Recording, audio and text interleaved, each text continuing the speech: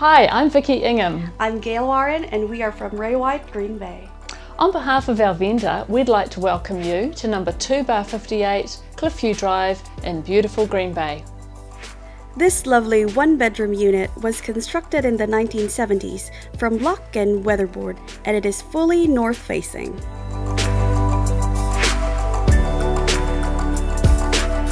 Inside, we have a galley kitchen, an open plan living lounge with a great outlook over the Green Bay Domain. There's a good sized master bedroom and a bathroom with a combined shower over bath.